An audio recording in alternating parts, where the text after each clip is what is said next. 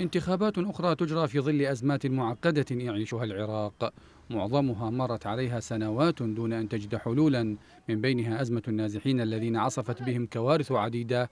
تسببت بها العملية السياسية التي يراد منهم اليوم أن يساهموا في إعادة تدوير أحزابها عبر المشاركة في هذه الانتخابات التي ستجرى الشهر المقبل. وكحال باقي شرائح الشعب العراقي لم يعد النازحون يعلقون أي أمل على الانتخابات لمعالجة مشكلاتهم أو في العودة إلى مناطقهم بعد سنين طويلة من المعاناة. كما لا ينتظرون أن تحدث نتائجها تغييرا في مواقف السياسيين إزاء محنتهم على الرغم من الشعارات التي يطلقها هؤلاء الساسة واللافتات التي ملأت شوارع المخيمات المنهارة.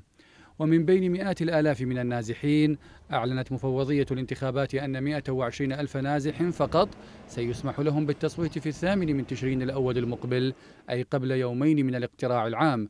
وأعلنت المتحدثة باسم المفوضية جمان الغلاي أن المفوضية افتتحت 309 محطات اقتراع خاصة بالنازحين. تصريحات المفوضية لم تمنع العديد من النواب من التعبير عن مخاوفهم من استغلال مخيمات النزوح للتلاعب بالنتائج مشيرين إلى أن المشاركة في الانتخابات باتت آخر اهتمامات النازحين في ظل ما يعانونه من شظف العيش وتدهور على الأصعدة كافة. وبعد سنوات طويلة من المعاناة ونقص الخدمات والمزايدات السياسية يرى النازحون أن وعود الانتخابات الحالية لا تختلف عن وعود سابقاتها التي لم تغير من واقعهم المحزن في مخيمات تفتقر لأدنى مقومات الحياة فيما يمنع أهالي العديد من المناطق من العودة إليها بأمر الميليشيات.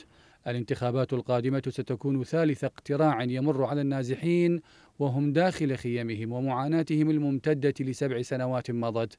قضوها بين الوعود الكاذبة بانتشالهم من واقعهم الصعب إلى جانب قائمة طويلة من المطالب التي يشتركون بها مع باقي شرائح المجتمع العراقي. لا يبدو أنها ستتحقق في ظل نظام سياسي ثبت فساده وفشله أمام الجميع.